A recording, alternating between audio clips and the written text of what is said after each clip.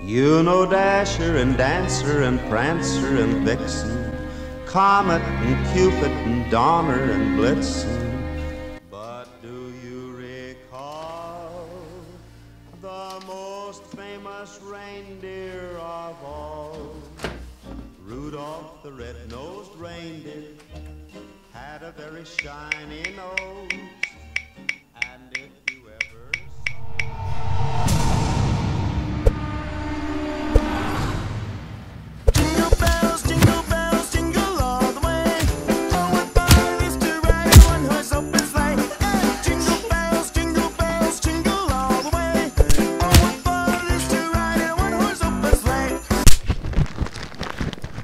So this is Christmas. And what have you done? Another year over. And a new one just begun. And so